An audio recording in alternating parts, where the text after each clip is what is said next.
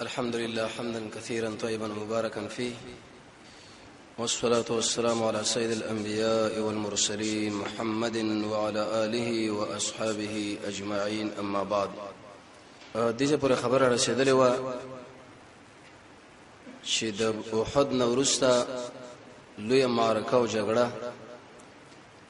د مسلمانانو او د کافرانو په مابین کې شو هغه د احزاب یا د خندق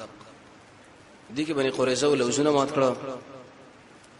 او رسول الله صلی الله علیه وسلم کورونه کې کینولې وي يهودو دغه د بیزتی اراده لرله لیکن سخت مقابله وشوې لکه سفیر زلنه په خپل يهودي اوجلو او به غیر مسلم اراده وکړه چې موږ پر رسول الله باندې عملیاتو کو حمله د عمر ابن عبد اوت په قیادت علي شبیر هغه سره مقابله وکړه وغیرہ لاندې کې او دا خبر وشو چې د مکه مشرکانو د خپل کسانو د انتقام اخصره لپاره هجومي جګړه شروع کړه رسول الله نبی کې ماسپکین ماجګر مکه موزم قضا شو او یو سبا ورځ باندې د ماجګر موز قضا شو د مکه مې روسه وکي او دا خبر او ویل شو چې صحابه د رسول الله صلی الله علیه و آله ویل یا رسول الله موږ له دعاګانو وکړه چې زړونه بالکل خپه دي سخت جنگ ودا فکری اللهم اللهم استر عوراتنا وامن روعاتنا د دعاګانې ورته خودلې اللهم منزل الكتاب یا اغزا چې کتابونه نازلې یا اغزا چې لخر ماتي او زر حساب ولې د خلق مات کا منافقانو باندې پیش کړي چې زمون کورونه خالی دي څوب کېشته د دیوالونه ټیټ دي زمونږ الله کومکونه راولېګل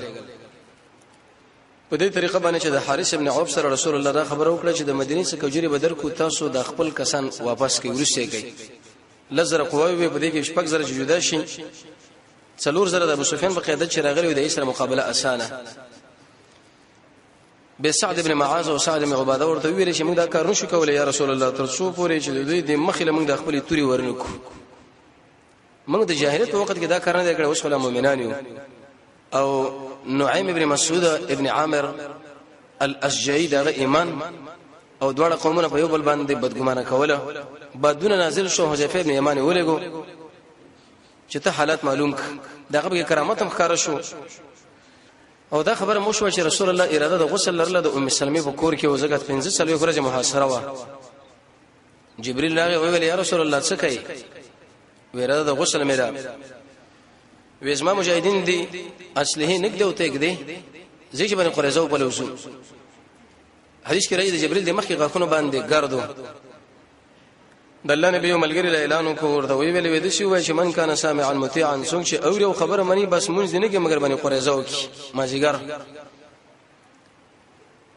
نبی کریم علیه الصلاه والسلام چې روان شو بیرانه الاخره شکل ورسېدو د مسجد قباء نه لګ مخ کې او د مسجد نبوی نه څلور میله وړاندې علاقه وا الته شکل قوای واړه ولې نو د خلکو په ځلونه باندې روب راغی کورونه کې دنه شول بعضې کسانو په دې لار کې مونږ کې او بعضې لاړل او علي ابن ابي طالب د خپل ملګرو له ویل یا کتیبه الايمان یا کتیبه الموت نن نصر عزیز من قوتي نن پی ورزو یا بزن شهیدان کو یا د خلک ګیرو عمر ابن کعب ابن اسد القرزي هغه د خپل قوم راجمه کو درې تقریرونه ورته وکړه یو دا چې په محمد ایمان راوړی عليه السلام ویني شي کېده دوی مې د خپل زنانو ماشومان اوجه نور مخه مخ جګړه کوي زګه ونیم سو کسان و ولس نیم سو توري وي 2000 نيزي وي 1500 زغري وي او 300 ډالونه وی چې ماشومان مو وژنه به دي ژوند څه خوند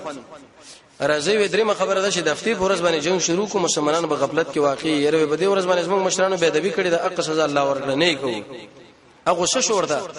چې ډېر قمه خلک یې وی تسلیمي کو ابو لبابه درشه هغه ورته اشاره وکړه چې تاسو به ذبح کېږئ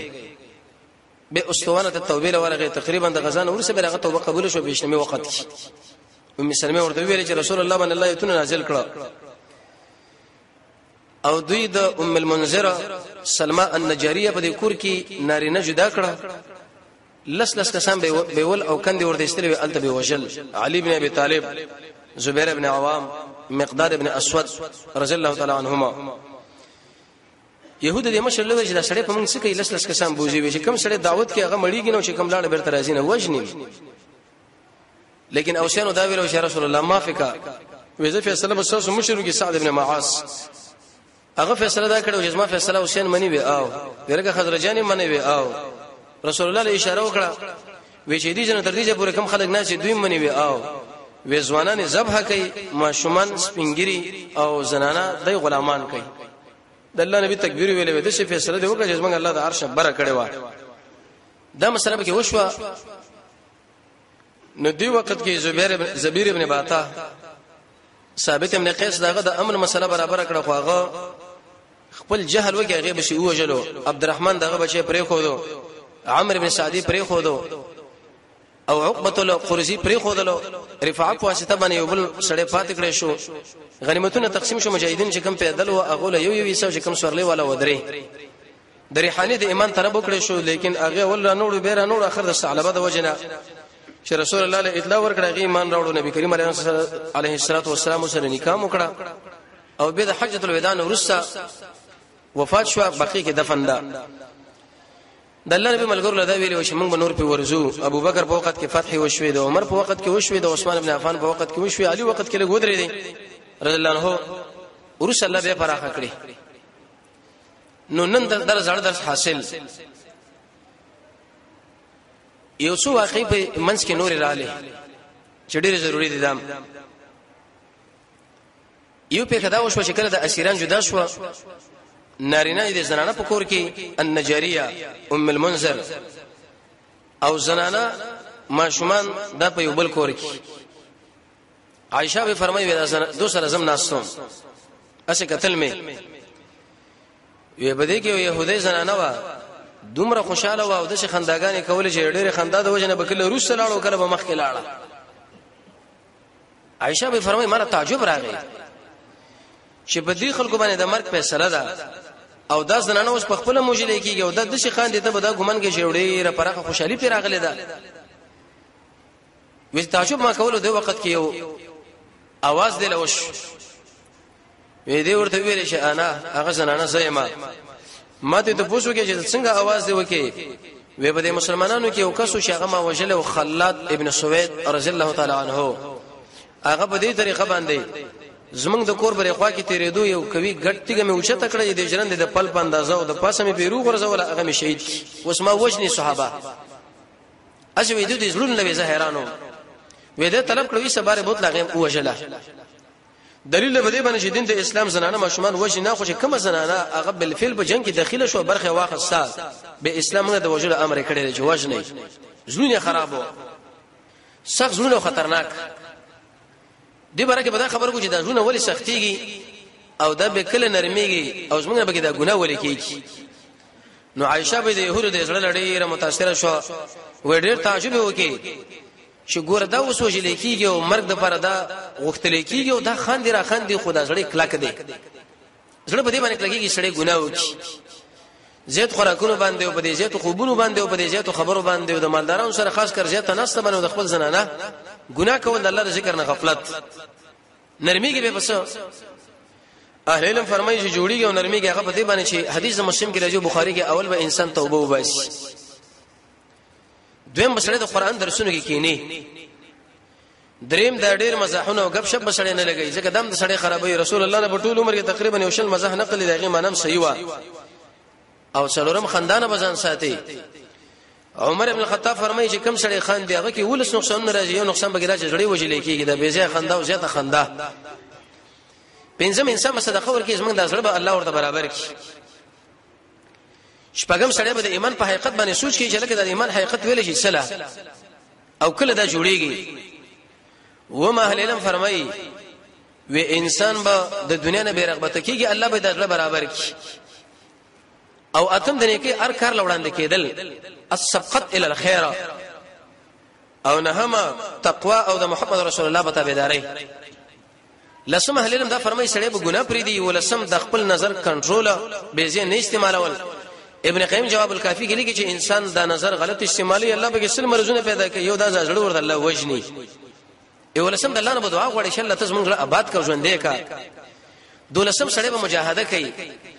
او د لسم رسول الله فرمایي د یتیم بر سر باندې لاس راخلا سوار لسم مسكين باندې خرچه پنځلسم انسان به جنازه کې برخه اخلي شپاړسم د مریض ته پوس وکړي ولسم هغه انسان چې هغه د ځنکدن په حالت کې دغه خواله ورتلله اتلسم قبرستان لتلله نو نسم څنګه الله نه دعاګانې غواړو او شلم ذکر در رب العالمین در رسول الله سنت برابر دا یو سوال چې موږ دا ګناه ولې کېږي توجه کله کله موږ تاسو ډیر کې څه عمل کوي څه کله زمونه ګناه وشي یو وجه دار چې د زمونږه عاجزي رب العالمین له همیشه پاتې شي همیشه بار بار د الله سره رابطه وشي امام الحدیث نصر الدین البانی سے فرمایي ودا زړه له ګناه د شیدل کورېز نور لا ابو دردا سے فرمایي لکه بڼه کې دشت کې پرته کله په یو طرف وړي کله په بل طرف دوی موږ پر مجاهده باندې مکلف یو چې موږ به کوشش کوو چې الله راضي کو زړه کې مان قلب معنا د اوختل لا وختل زموږ د ګناه د وجې نه او زموږ د تعلق د مخلوق سره یو ځای شي شهوت موږ باندې غالب شي نورې وجې مشته به درې قسم زړونه دي یو سالم او جوړ زړونه چې د انبیو دي دوی مړ زړونه دي چې د کافرو دي او بل مرزین د منافقانو قران کریم چې کله انسان مطالعه کوي د کافرانو د زړونو یو ویش صفات ذکر کړی د مؤمنانو سوار لس نو عائشه به فرمایي ما تعجب کې دي زړه چې دا اوس وشل کېږي او خان دي دویمه پیخه دا وشوه صادر رضی الله په لګیدل او بدن باندې او الله نه دا دعا وکړه شي الله کچیرته زمنګا او د قریش مابین کې وبله جګړه راځي نو ما ورته برابر کا او کنه راځي بس مارم دین شهید کا خو اول مې راستګي بری باندې قریزو باندې یخې کا او سترګې مې قوي شيخ شوې دا ونیم سو کسان علي ابن ابي طالب مقداد ابن اسود زبير ابن عوام دوی علال کړو ذبح کړو دغه د شهادت مسله علاقه په دې طریقه نبی کریم علیه الصلاه والسلام امام بخاری فرمایي چې په مسجد نبوي کې ورته خیمه والي و ځکه د رسول الله مسجد هم اسپیټالو هم پکې ملمانه کې نشته هم پکې ټریننګ ورکې دوه هم پکې عبادتونه زده کېدل هم مدرسه وا جمعات نو د اسلام مرکز او جمعات کې به داسې بتونه وشي وې دي جمعات کې ورته خیمه والي او رسول الله بار بار ورتلو یو بل خیمه د بنی غفار د کبیرینه سم ملمانه راغلی او اغولم ولا شوی و د سعد سے خپلوانو کې زنانه و چې هغه د سعد ابن معاذ خدمت کو نو الله رب العزت د داوینه بند کړي وا ځکه رسول الله په یو کړ دا ولګو به په ولګو چې دریم سره ولګو نو وینه بند شو د شپې دا وینه را روانه شو بیرته الله وسد دعا قبلې شهادت نصیب کیږي وی وینه را روانه شو راتلله راتلله تر دې پوري چې دا کومه خوا کې بل خیمه دا وې د اغه پوري د سعد ابن معاذ بن رااله خپل خیمه په ډنډ شو مشه بار وروته وی چې کله لاړ نو دی خلکو ورته وی چې اهل خیمه اې د خیمه والا د تاسو څه چل دی څه چل د شروع شو چې دا وینه دی خو را روانه ده وی ویل چې د څه مسله وشو د سعد خبره وکړه رسول الله فرمایي جبريل دی وخت کې مال راغی او مال ویل چې یا رسول الله دا ستاسو په ملګرو کې کم سړی وفات شو چې د رب العالمین عرش ورنه او خوځیدو احتز له عرش الرحمن د مهربان الله د عرش په جړق باندې راغی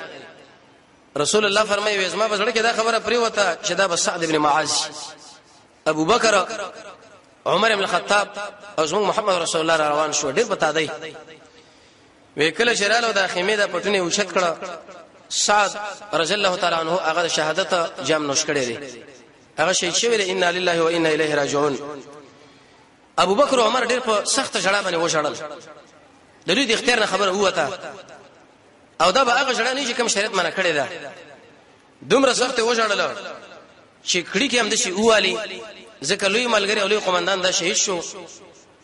او د اختیار نه مسله وته محمد رسول الله ځان قبضه کې واقع شو ځکه رسول الله ډېر مضبوط انسان و د سترګو یو خلاړو خو چې کله بد الله نه ډېر غمجن شو دا ګیره باندې ویل شي لاس مې دا ګیره ویل شي ونی ولا رسول الله وې د ډېر غریب او د غم د لاس وې د خپل ګیره له لاس وراوړو ام خپش وې چې دا مسله وشوله اې دوی د وفات او د شهادت نو په دې وخت کې د جنازې مناسب برابرې د منافقانو خبره وکړه وې د ساده د جنازه سپکره تاسو په دې باندې پوي وې نه وې دا ساده ډېر سپک سړی دی منافقان په هر وخت کې خبرې کوي د مجاهدونو شهیدانو په سبب خبرې کوي چې ګوره دا وګوره په دې وخت کې خلک مال ګټي د دشمن سره بډا غره دي خوند درکې تا دا کارونه کول چې د غر سره ډغره والا چې وشه د شي کړي او وی وشل او بمبار کړو قیدی کړو هغه کړو دې کړي د شي خبرې چې کله د مسلمان مجاهد پس چا شروع کړي دا خبره یاد ساته چې دا سړی ګوره قرآني منافق دی دا سړی به د يهودو نملانه مرتبه جهنم کې بروت مجاهدین زمونږ د الله او د شهیدان زمونږ د الله ډېر نږدې دوستان دي د دوی پسې خبرې کول دا ګوره د سړي ایمان تخریبوي او بربادوي لري کوي رسول الله دفاع وکړه او حدیث کې مرাজি د الله نبی فرمایي وی شکل استا په وړاندې منافق راځيږي او د مؤمن غیبت کې او تای دفاع وکړه الله به په ورځ قیامت تعالی یو ملک مقرر کړي چې ستا دغه خبره جهنم د اور نه وساتي او وی ویلي وی تاسو خبر نه وی نه وینن چې د سعد د جنازه دغه د دله اوې زره ملائک راکته شوی دی اوې زره سره خیر لې چې اوې زره ملائک راکته شي واغه د کټه مونږ شي او سریر مونږ شي نو اې څوک په دې باندې به پوه شي چې دا سړی دروند یې سپګ دی نه دلیل په دې باندې چې مسلمان مجاهد سړی دی په کار د خاص کر د مؤمن لکه رسول الله صلی الله علیه وسلم وکړه تاسو چې چا د مسلمان سره دفاع وکړه الله بری په ورځ قیامت د عرش د سور لاندې د خپل سور لاندې کې نه دویم ته دا خبره معلومه شوه چې د مجاهدینو او د قشن د مسلمانانو جنازو له ملائک راځي لیکن دومره خبر دی اورویت کوي چې کله انسان جنابت کې واقعي اغله به خاص ملائک نه راځي لکه جبرئیل دی اې دې به دا مقصد نه چې انسان په جنابت کې لاړو دا ګناه وشو نه یو سړی د هم بستر وکړه په کار دا چې غسل وکي که غسل یې چرته ونکړ نو بیا مناسب دا چې بده وخت کې تیم او دس وکي کده ونکړ به تیمم وي خو کده مونږ کو دا چرته وفات شو صرف دومره خبره ده چې عام ملائک به جنازه کې برخه والي خو لیکن جبريل غو نه کسان نه راشي وی وی ویل چې ګوره ملائک ورته راغلي و او احتز له عرش الرحمن د مهربان الله عرش ورته او خوځیدو دا ولی او خوځیدو یو وجدا ده اهل علم دا فرمایي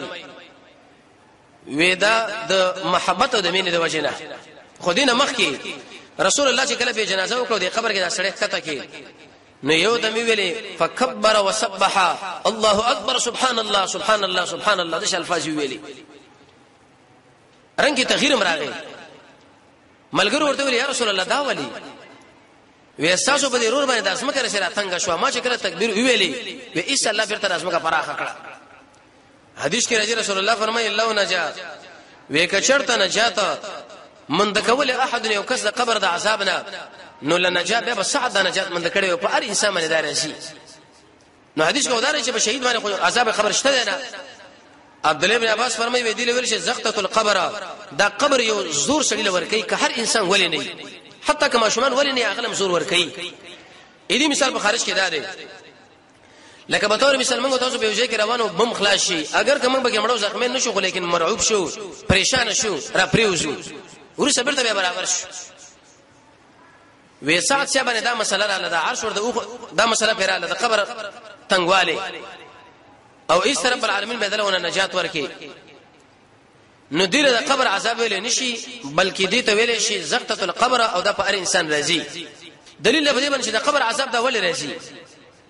اهل المدغیر پر دې شوې ذکر کړي ځان سره یاد ساتي اجمالی انسان چې کله شغولي کوي الله بدل د قبر عذاب ورکوي یو دویم چې کله سړی د تشمی تیز نه ځان نه ساتي رب العالمین بدل د قبر عذاب ورکي دریم چې سړی کله دروغ وي الله رب العزت بدل د قبر عذاب ورکي څلورم چې کله یو سړی د قران کریم نه ود شي معنی غفلت کې شي بالکل توجه ورته نه کوي او پنځم چې کله انسان کافر الله بدل د قبر عذاب ور کوي شپږم چې کله انسان مشرک الله بدی انسان له قبر عذاب ور کوي مشرک انسان لا و مهلینم فرمایي چې کله سړی د مور پلار نه فرمانه اته مهلینم دا فرمایي چې سړی مونږ نه کوي نه هم د قبر عذاب دی وجه باندې سړی زکات نه ور کوي زکات لسم اهل علم دا فرمایي چې کله سړی سود کوي ایو لسم او علماء دا ذکر کړی چې سړی د مونږ خپل وخت نه ورسته کوي دولسم او علماء دا ذکر کړی د دې وجنه د قبر عذاب راځي چې انسان به د سم منزل ودري قصدن د لسم او علماء دا ذکر کړی چې کله انسان زنا کوي الله بدر د قبر عذاب ورکړي څوار لسم او علماء دا ذکر کړی چې انسان لواتت کې الله بدل د قبر عذاب ورکړي عبد الله ابن عباس فرمایي په دې قبر کې بلت خنجر جوړي خنجره څومره خطرناکه خبره پنځلسم اهل فرمای چې سړی وینا کوي به په عمل نه کې الله تعالی د قبر عذاب ورکړي شپږم هغه خطیب چې خلکو تقریر کوي او عمل پې نه کوي الله تعالی د قبر عذاب ورکړي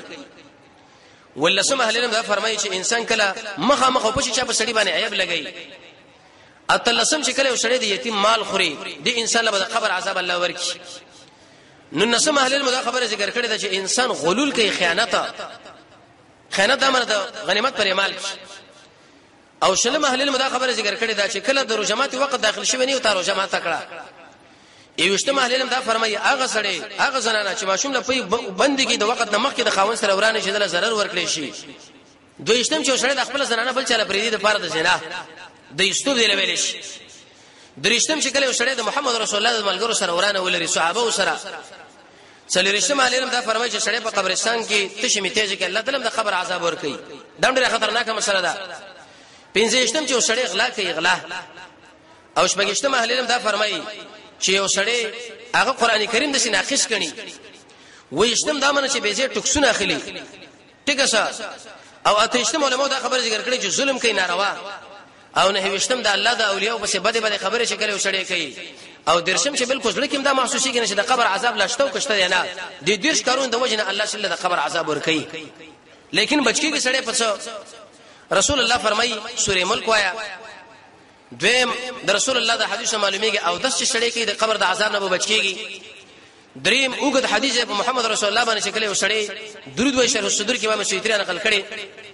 څلورم شکل یو شړې د الله ذکر کوي د رسول الله سنت برابر پنځم شکل شړې شهید شي رسول الله فرمایي د قبر عذاب نشته شپږم یو شړې د خېټه په در باندې مرشي زنانه چې بچي په خېټه باندې دا مړه شوه وم چې جمعې په شپه باندې سړی مړ شي د رسول الله د حدیث معلومیږي دلم د قبر عذاب نشته او اتم چې سړی کله د قبر عذاب یادوي او نه هم عمل صالح او لسم چې کله سړی په معاملاتو کې نرمي کوي شیخ الاسلام ابن تیمیه رحمه الله فرمایي سړی د الله نه بخنه غواړي توبه یو لسم د قبر د عذاب نه بل الله د بچ دولسم د مسلمانانو دعاګانې او دیارلسم د مسلمانانو جنازه څوارلسم چې ستانه ورسته بچی پاتې او تعالی صدقه درولېږي صدقه کې او ثواب تعالی درولېږي او پنځلسمه د رب العالمین رحمت نو د قبر عذاب په دې سړي باندې ولې راغی اول راځي یو وجه دا ده چې په انسان باندې ذکر راځي کم از کم هر انسان نه ګناه کیږي چې وادم بیاونه دویمه وجه علماء دا ذکر کړی دا زمکه د شیدل کس موږ تاسو مور او منګه بچي او طبعا چې کله یو بچي د مور نه جدا شو ډیره مده بعد ونی شنو دی غي کی زور کوي دا می وجه ده سات سے برکه علماء دا خبر ذکر کړی چې کله به او دس ماته او تشمی تیز وغیرہ اگر کدا صحابي خو لیکن زیات توجه وغیرہ دا بنوا د دې وجه نه دا مسله منظراله نو تشه می ته سره ډیر اهتمام وکړ دی چې انسان هغه کې پوره پابندي وکړي د کړه قبر عذاب هم دین راځي رسول الله فرمایي استنزه من البول فان عامه عذاب القبر منه د الله عرش له خوځي د عرش ورته ولې خوځي دو احتز له عرش الرحمن یو خو د خوشحالي د وجنه لکه یو سړی داغه دوست راځي او په دې وخت کې سړی لته اعلان وکړي چې خبر نه نه ستا دوست خو را نږدې شو را ورسېدو داغه په دې بدن باندې ورق غوندې راشي یو ټوپ وي روایت کې راځي فما بکت د فرعونانو باره کې الله وي د زمکو اسمان په دې باندې ونه شړل نیک انسان چې کله مرشد سلوي خوري زمکو اسمان شاړ شي څنګه شاړ علم الله نه دی اسمان په دوه وجبانه شاړ یو دا چې د کې سعمل نه راخته الله نه ورک شو هي حلال رزق ورته هغه بند او زمکه په دې باندې شاړ شي الله استاد نیک بند په ما باندې کې نه سو ګرځي دورا ګرځي دو د ایو مجاهد منځنه به کولنه غلاړو د خوشالۍ نه او دویمه وجه علماء دا ذکر کړي وې د غم د وجنه وې د عرش او خوځېدو د یری د وجنه چې لوی عظیم حستی لاړه او سعد ابن معاذ یقینا چې ډېر لوی انسانو منافقانو کې دا خبره به خورش وا چې احتز له عرش الرحمن هغه به ویل چې احتز له العرش وې مړ دې دا مطلب نه دی چې د الله عرش خوځېدو وې اسی دا کټ کې خوځېدلو منافق انسان همیشه کوشش دا کوي چې رسول الله حدیث وران کړي او د مجاهدونو مسلمانانو د مؤمنانو په خلاف خپل تبلیغ جاری وساتي صحابه به دا کوی درد لپاره دا ویلي احتز له عرش الرحمن اي خلکو دا سعد ابن معاذ د شهادت د وجنه د رب العالمین عرش نشي خوځي د الله عرش د مهربان الله دریم کار پکې دا وشو نشه واقعا رسول الله پښینګویم ورکړی و او دی ویلی و الان نغزوهم اوس بس موږ مجاهدین اوس موږ قوی په دې باندې ورځي دونه په موږ نشی راتلې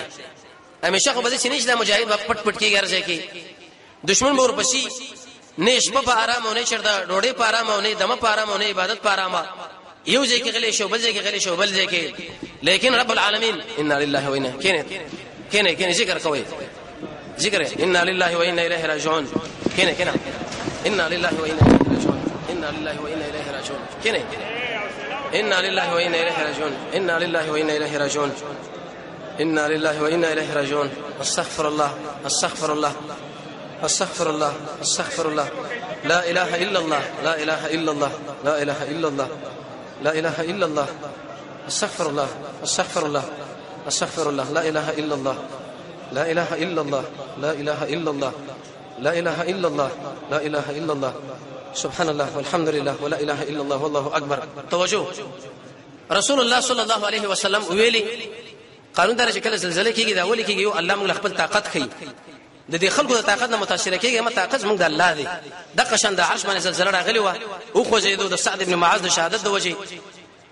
او دویم په دې وخت کې څه کول پکار دی توجه قران او سنت دا موږ له خودلې دي سړې به ذکر کوي د د پلاس کې کمال هغه صدقه کې او د قشان غلام د سری هغه به آزاد کی دا څنګه الله طاقت دې ځکه الله نه ګوره یره پکار ده نو رسول الله ملګرو لوي ویلي الان نغزهم توجه وینن بس موږ ملګری په دې خلکو باندې ورځي او دوی باندې راځي نو وی ویل شي د معجزه تند خبره وکړه ویلکه په دې ځکه یو خلک دی یو تاجر دی ابو رافع سلام ابن ابي الحقيق تاجر الحجاز ویلکه هغه وجل لپاره به څوک تیار شي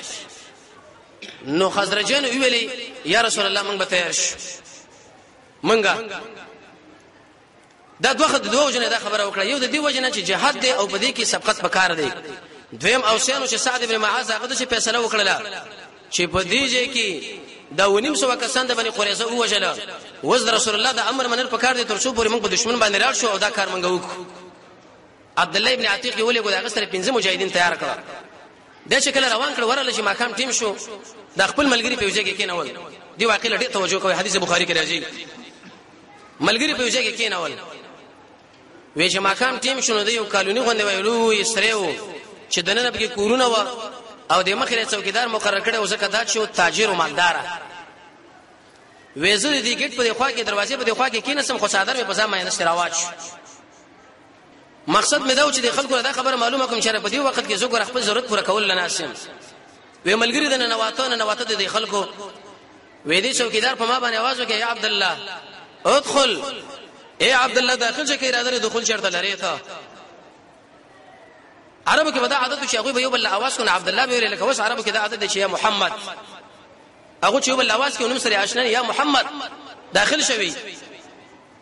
وې څادر په سر راوچ ور داخل شوم د کوټې کور دروازې لا وې د شو زه چې الته غلې کینې سم تیار غوندې و د خلکو له میزان د شکاره کې چې ګوره زلاړم وې دا څوکیدار می تعقیبولو چې دا ټول خلک کړه دنه شو دا گیټه بند کی توجه وې دا چابیر واخصلا او یو میخ باندې کې خدا نور په دې سړي کې دا عادت دی خلکو کې دی ابو رافع کې چې به د د شپې مجلس کې نه ول واغل ته ډیر غب شپ دی وشتل د ملګری ورته راتلل مې دا غب شپ چې کله ویشتو ویشو او په دې وخت کې خپ آرام باندې شو خلک لاړل وېزره او چت شم د خپل زینا پاس په دې جناب باندې وروختم دا وله دروازه مې خلاص کړه او ځم سمې کلب کړه د شي قوي مجاهد خپل مرګ به سر قبول کړه خو اوس مقصد ته ځان ورسي وی به بل دروازه مې خلاص کړه هغه امې مې ځان بس لټ کړه وې درې مې دروازه مې خلاص کړه دا چې کومه کوټه کې واغه مې لټ کړه وې ما ویل ابا رافع یا ابا رافع وې دوی ویل څوکي چې आवाज ما ودا کم ځای کړي چې आवाज مې تر غوښو چې په دې ځای کې توري گزار مې قربانه وکي وې سړې بچ چې سړې بچو تکلیف مې داو کې بیرته وروته مې دروازې نه وی आवाज ورته بدل کې مې ابو رافع څه وای څنګه چغلي جوړې کړې دي وې مور دې بوره شڅو کرانه نه وته وی واله ماغه دا ګمان کو چې څوکیدار را ورسېدو وې چې کله مې معلوم کې چې په دې ځای کې په ورو مې دانګل دا تورې مور ته په خېټه باندې کې خو د پاسه په ورسم لستم وې دملا دې تیرې چې کړسار وکي توره مې ته پورې را ویرې وستا چې یواله به حتی تر دې پورې چې موږ مرون په زما سخت आवाज نور خپه اطمینان له مې دروازه مې خلاصه کړه به مې دا بل دروازه خلاصه کړه به مې دا بل دروازه خلاصه کړه ورا کته کېدم د نور سترګه وا دا سپګمې وا وې د شي په دې جن را کته کېدم نو سوچ مې دا و چې رزق زمکه لور رسیدم زما او د زمکه په مابین کې و اندر پای غوندې وا پوړې وې سوچ مې نو چې کته کېدم لندې وګرځیدم وې دا خپل ماته شوله چې خپه مې ماته شو پړګې را سره وزه زمې را خلاص کړم په وتړله او نور بار مې ځان وېس د رسول الله د شناشته تر به شوی ملګری وې د سیمه نه کول چې را کار مو کو نور تلم وس تر څو پورې چې دا اعلان اوریدل نه چې لکه دا مردار شو زبې رسول الله خالصم وې چې کله دا شپه ونه شوه نو دې خلکو به زر زر دا رڼاګانې ولګولې او یو سړی आवाज وکي ان ابا رافع تاجر الحجاز قد قتل ليلا ابا رافع د شپې مرش ویلم اطمینان کراغه دا اوازونه مازونه د دې مړ ګردانه په چرته پوسټر کې شته او نه په جماعت کې شته او نه په لوډ سپیکر نه په بل نه په بل دا اتفاقی د څلور اړو مذاهب فیصله ده احناف دي که شوافی دي که مالکین دي که حنابلة دي که اهل ظواهر دي که اهل حدیث دي که څومره علما دي د ټولو اتفاقی فیصله ده چې د مړو اذان په جماعتونو ماتونه کې بکیږي نه صرف خبر شته چې یو بل خبر شي چې لکه جنازه په دې بجې او په دې او په دې وی چې کله دا مسله شو روان شو ملګری مې ځای کې نه ولې واغوله ورسې وې څنګه چللې ما ورته ان نجات نجات لاړو وې د خیبر کې وبړو په دې بړ کې وردن نشو الته چینم وا وې يهود ګرځي دراګرځي د چاله کخه قراری شو سړی معلوم نشو روان شو د رسول الله صلی الله علیه وسلم تقریبا یو سل اویا کیلومتر مسافه وې دي جنت مدینه منوره د اندازې پوري وې موږ ورته زیره ورکه چې رسول الله سړی موږ له پیغمبر اسلام سره خوشاله شو انتهایی زیات وی چې کله هغه خوشاله شو نو ما ملګرو ورته وی چې په وخت او وخت را وی مالې ورګه کخبري وی چې په ورګه کړه وی ایس دم ور باندې واچو د شي جوړه شو ما د شي ګمان کو چې په تاریخ کې د شرط شکایت نه کړي دا رسول الله معجزه را دغه دا خبره معلومه شو چې ګور دم اچول دا جایز او خاص کر به مجاهد باندې کار ورته ویل پکار نه دي چې پښتون چاپ کو پلانیزه کې عامل دی واغد دي تعویذونه کوي او د دې کې او د دې او د رسول الله معجزه لکه د قتاده صاحب هغه سترګې چې برابر کړې و او د رسول الله معجزه سړې پیژنې د سړي ایمان زیاتیږي مخکې موږ دا ویلو د ایمان زیاتواله په دې راځي د الله مخلوق کې به سوچ کوي د الله نمونه کې به سوچ کوي قران کریم کې به سوچ کوي د رسول الله تابعداري به کوي د الله دعاګان الله نه دعاګان غواړي ذکر به رب العالمین کوي کیسه اخلاق او د رسول الله معجزه به پیژني د رسول الله شخصیت به پیژني د اسلام د دین خو بیان به پیژني د هر قسم کفر او شرک نه به جدا کیږي الله له وخت ورکی د نیکانو علماو سره بکینه علم د قران او سنت اخلاص ادب صحابه ملګرو سره مینا او هغه شنه جدا کېدل چې تا د الله نه لري کوي جهاد کول عمل صالحه دا مسله وشوه و رسول الله خوشاله شو سلورمه په کدا وشوه وې دیږي کې بني بکر ابن کلاب قرطه یا قرطه علاقه الته یو قوم چې دوی د هغه خلک وو چې د خلکو سره متحدین وو د مسلمانانو په والو کې رسول الله ورته ادب ورکاو محمد ابن مسلمه له دیش مجاهدین ورکړه وی حرکت په شوکه او د خلکو له سزا ورکړه چې زموږ په خلاف نه دوی د خلکو سره اتحاد کوي او محمد بن مسلمه هغه سره د عمر بن خطاب فرمایي وی زر کافران یو خو کو محمد بن مسلمه ورته ځان له اوغر زودار زر کافرانو جواب کوي د رسول الله د شنه شاملګری دوی به د شپې مزل کوو او د ورځې په بریکندو کې غل کېدل وې کله چې علاقه له ورورسې د خواغوي وته کې د جنگ چې جوړ شو لس کسانه په غوي کې وژل دا غوي ګړي بجې وغیرہ دا مولوی رسول الله لراوړه او مال په مال پیسې کوي چې داس خپل مال در مسلمانانو مال يهود نسوارا چې په دنیا کې وشيږي هغه اسی وشيږي په دې ځمکه کې الله رب عزت چې د ارث برابر کړی د مسلمانو مؤمن لپاره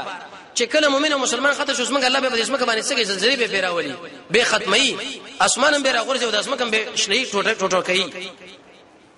مجاهدین را روان دي پنځم اخري په خدا وشوا چې ګوري په دې لار کې یو سړی دی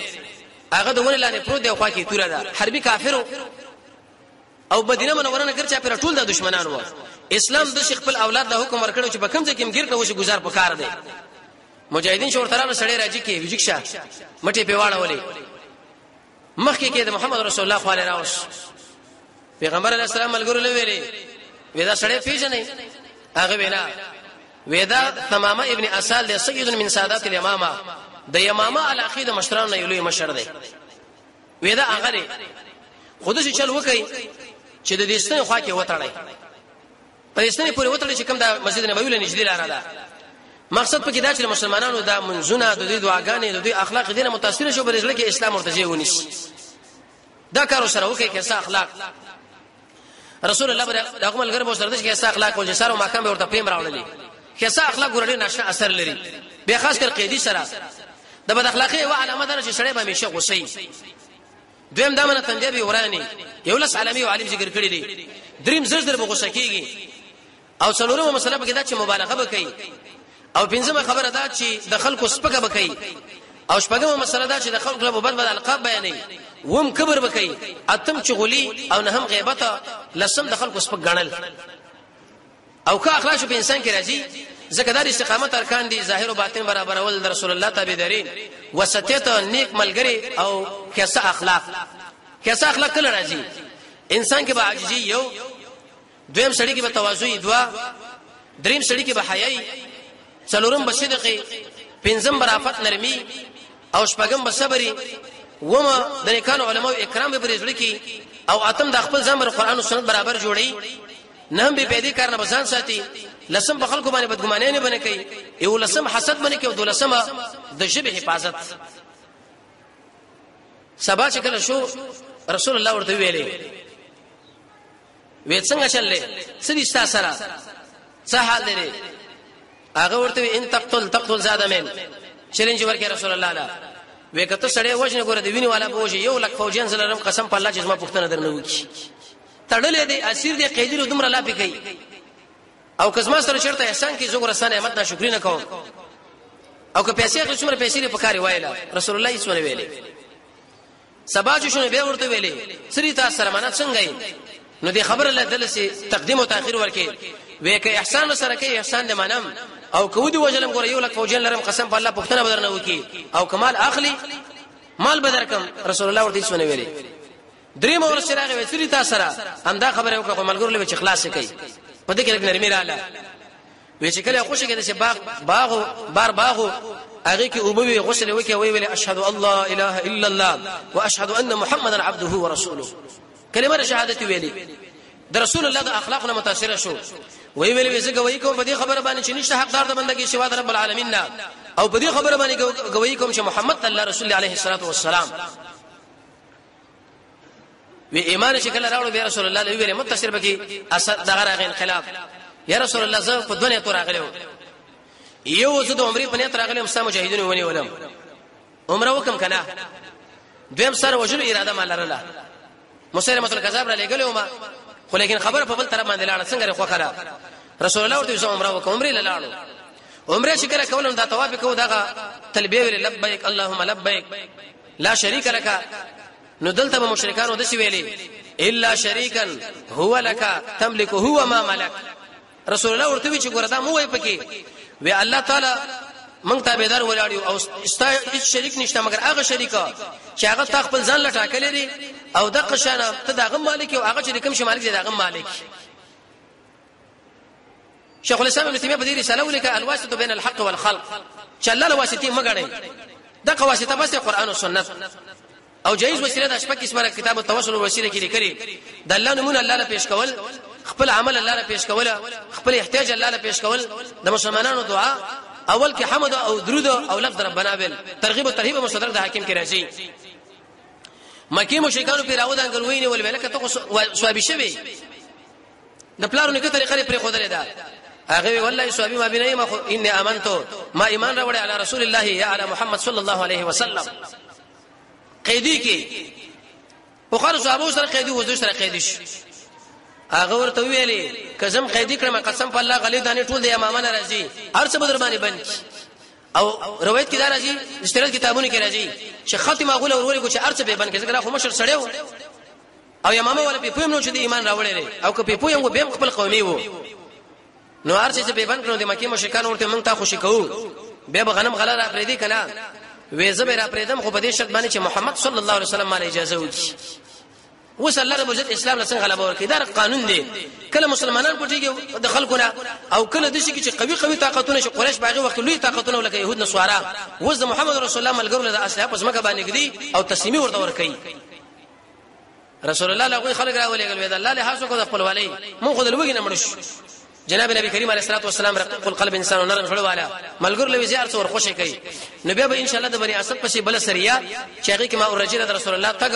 او د خپل والدي قبر لشه ابو علاقه هغه تفصیلی ذکر شي الله رب العزت موږ تاسو د محمد رسول الله تابعداري را نصیب کړي وصلی الله تعالی علی خیر خلقه محمد و علیه و صحبه اجمعین مهم اعلان دا چې د جمعې پر سبا نه بل سبا ان شاء الله زمونږ په مدرسه کې د غدری سورته قل هو الله فلق او ناس دغه ختم به ان شاء الله د ونی مبجونه تر لس بجو پورې نو خپل به برخه والو د قشنور ملګرو سره د خبره شریکه کو د جمعې پورې مدرسه تعلیم القرآن او سنت د و بجونه تر لسمه بجو شاوخوا پورې د قران کریم تفسیر د ورسنه ختم او د خیر مجلس چې باید برخه والو وصلی الله تعالی